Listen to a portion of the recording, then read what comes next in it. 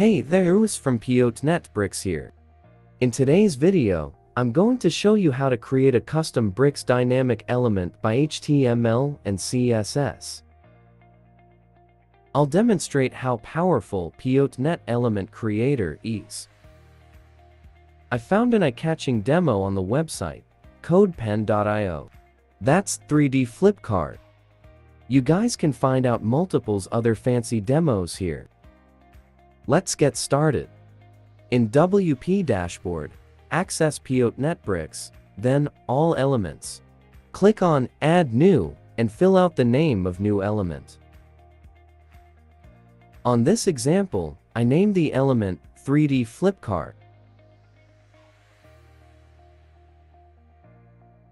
On Bricks Panel Editor, reach to Element Creator and click on it. On the General Settings of the Content tab, fill out the title and name. Similar to a slug name, this name has to be unique, with Latin characters and no space, no number, separated by underlines, like slug's format. In the next versions, this one will be automatically created. For categories, you can choose General. Move on the render part that displays on front end of element. Back to original source of this example. You can get its HTML and embed to render box. OK, go to CSS part. Similarly, embed the appropriate CSS codes to CSS box. Do not forget to publish it, because the element is on draft status when having been just created.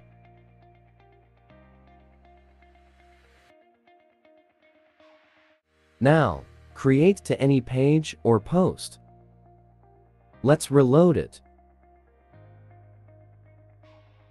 On Bricks Categories Editor, you will recognize the element that you just created. Click on it. Let's try hovering on it. The flip animation works perfectly, as in the website, codepen.io.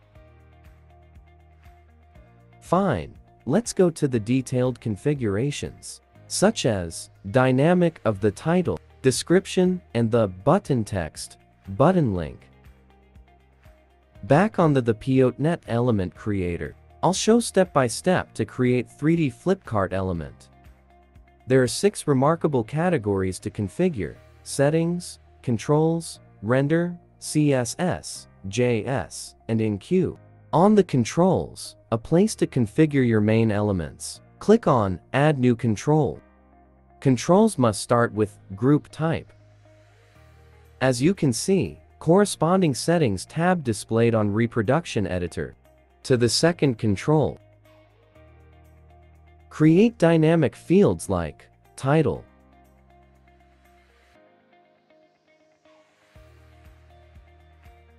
Name is title. Default box for the title.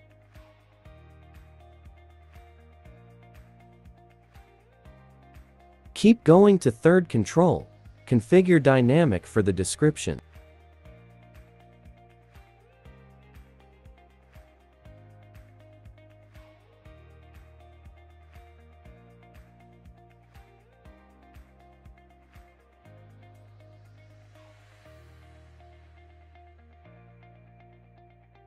Similarly to fourth and fifth part, the dynamic of button text and button link.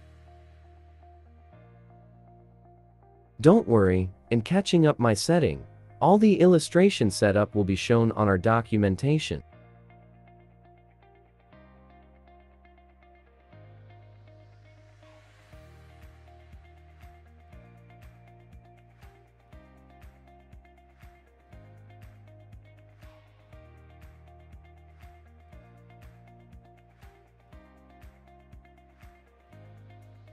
In the last control, the dynamic for background. For type option, it is image.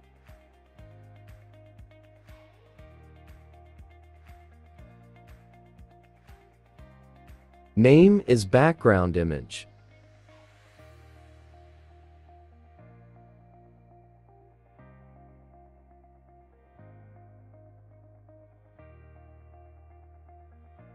One of the most important parts of building your element is render. You guys can use PHP or Twig. With this demonstration, I'll use PHP. Then, custom domain should be revised like this.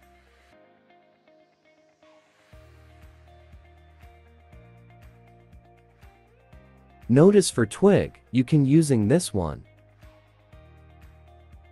As I said, on this demonstration, and we're applying PHP, then reback it. The title has two constituents on both front end and back end. This is the description. I'll revise these codes and please reach to attached file on documentation to refer these ones.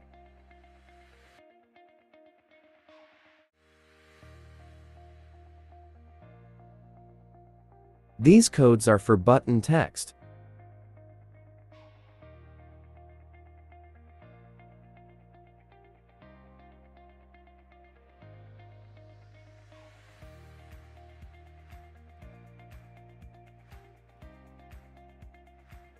These highlighted codes are for background image.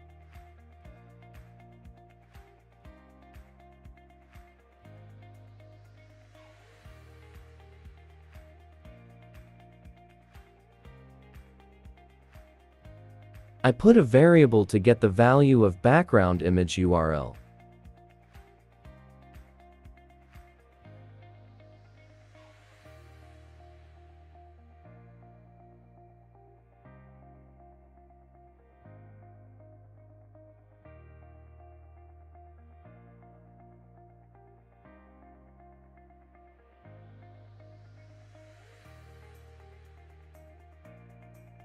In case users uploaded the images, I put these codes.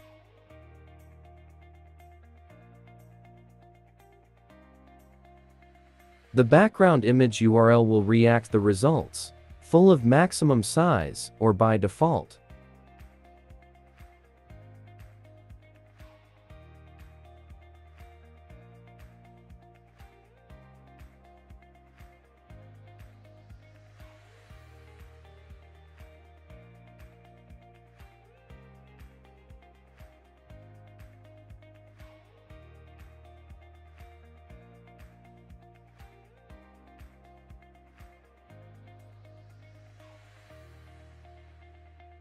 Keep revising the URL of background image by PHP.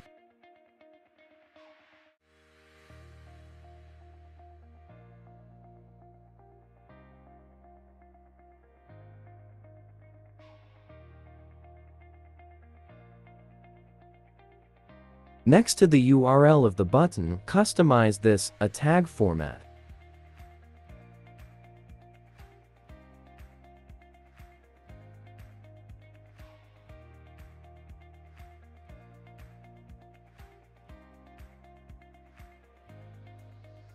Bricks Builder made controls topic for developers. You can figure out more via Bricks Academy.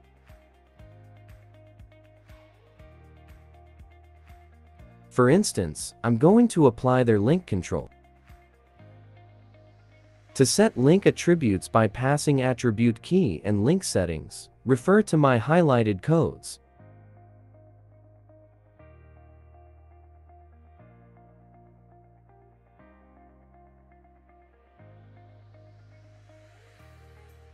Then embed those codes to render box and adjust them.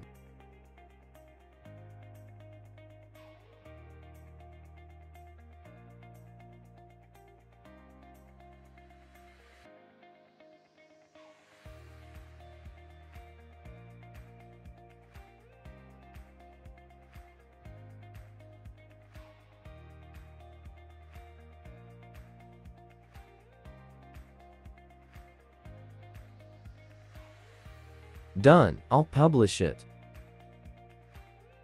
Access any page or post, and make sure to reload it.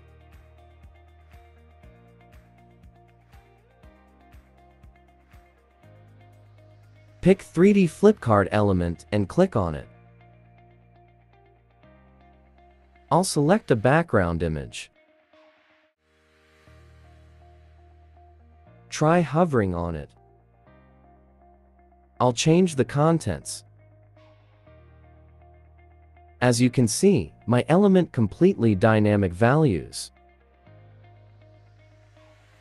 There is display matter here. Button text sticks to description.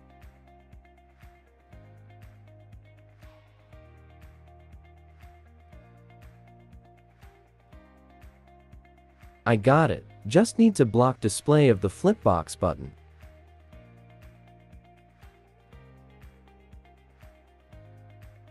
Save and reload it.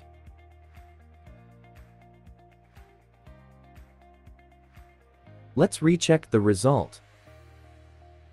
It works perfectly.